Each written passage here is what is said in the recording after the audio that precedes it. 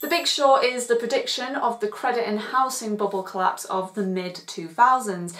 You could look at this as the tamed down version of The Wolf of Wall Street with a conscience. Absolutely loved the style of this film. I found it to be unique and refreshing. It managed to make a very tough subject entertaining and light. The tone of the film just really shouldn't work for such a dark topic, but somehow it does. You know, the best way to describe this film is that it is breezy. To quote Monica from Friends, I'm breezy. With a star-studded cast that all have the correct talent to fit in with this mixture of drama and comedy, the two hours and 10 minutes just soon fly by.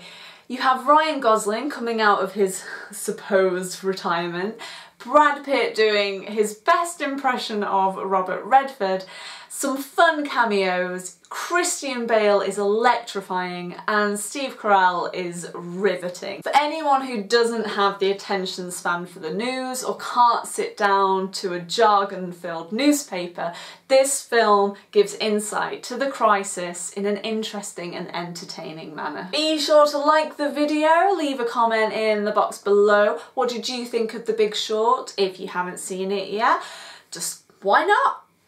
please do subscribe and if you enjoy my reviews please just take a few minutes of your time to Facebook it, tweet it, anything other social media things that you can do, whatever you need to do, hit that button and thank you for watching.